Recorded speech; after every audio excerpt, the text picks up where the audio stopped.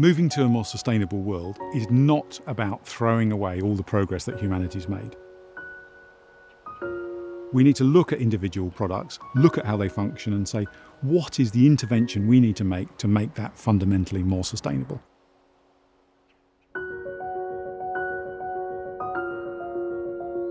Do we need to plant more trees in the UK? Yes, we do. Do we need to protect those trees as they grow? Yes, we absolutely do. Should that protection come at the cost of our environment? Absolutely not. Every time I go on a walk, I see these conventional plastic tree shelters that I know are only adding to the burden of microplastics in our soils.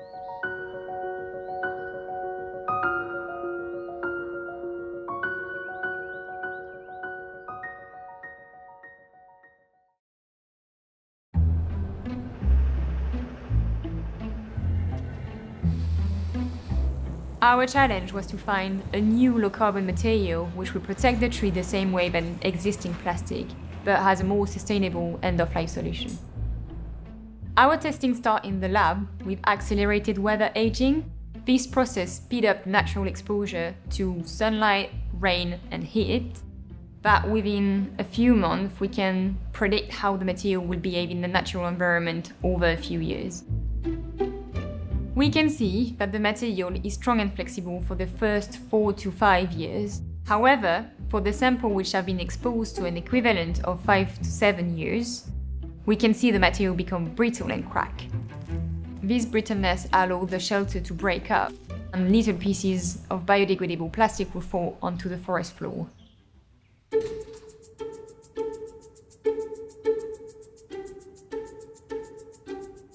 We have to test our bioplastic to prove that they are actually able to biodegrade on the forest floor.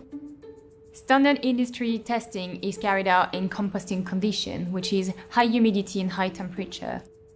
But this is not the condition that will occur in the natural environment.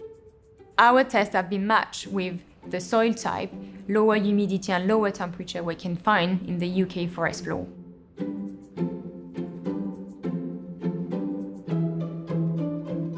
Looking at sample of partly biodegraded material through a scanning electron microscope, we can see where the microorganism actually digested the plastic.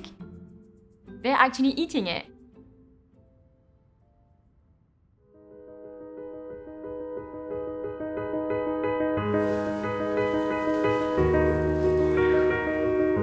Opinion within the world of tree shelters is changing rapidly. Every other phone call I get is somebody saying, when are you going to develop a bio alternative?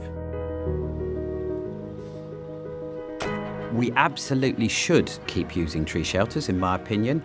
If you use one, you are likely to get establishment rates in the UK of somewhere around 80 90% on a good site. The only thing is, they're made from plastic and they are seldom removed from the tree once they've completed their natural life. We've made a tree shelter that does everything our standard tree shelter does, as well as our standard tree shelter does it. The only difference is the bioshelter doesn't need to be removed and that it will break down in natural environments with no toxic residue. We've done every single functional test we can do on this product. We've done every single lab-based test we can do in this product. But now it's the time to test it in large quantity in the real world.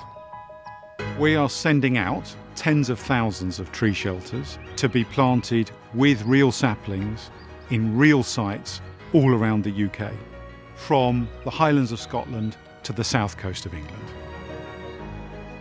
Over the next few years, we're going to be monitoring how well the tree shelters function, how well the trees within them grow and develop, and ultimately how the tree shelters fragment and then biodegrade in the soils. I believe bio-based and biodegradable plastics can perform just as well as their oil-based counterparts, but without the damage to the environment. This is just one way that we can show by intelligent material design we can produce highly functional products that don't cost the earth.